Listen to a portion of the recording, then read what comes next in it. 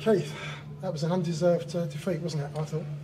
It was undeserved with respect to uh, the scoreline, but we can't make those mistakes. I mean, wow. We took the lead, looked in control, and then we stopped doing what got us the lead. And it become chaotic. You know, the lads have got to think clearly. They've got to have intelligent energy. And the first goal is an absolute car crash. And we're just not putting it together. It's as simple as that.